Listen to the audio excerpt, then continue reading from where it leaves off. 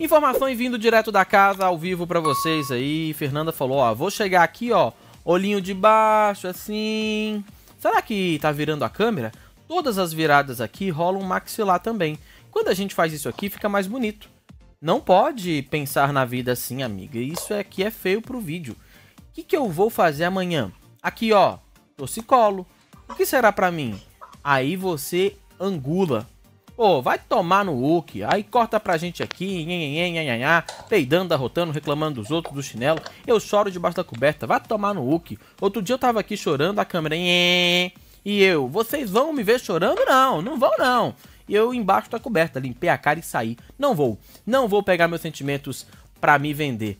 A Fernanda deu uma, leve surtada agora nessa fala aí, porque ela meio que ficou revoltada. Ah, Bárbara, você lembrou de acender a luz, né? Eu tinha esquecido. Eu tava achando super esquisito. Eu falei, gente, a Bárbara tava numa caverna, né? Aí agora. E eu não tava entendendo o que, que tava acontecendo. Eu não tinha percebido que o era a luz do problema, entendeu? O Shuang tem que zoar, né?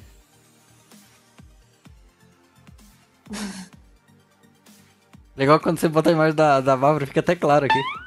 Olha lá. Ela brilha tanto, né?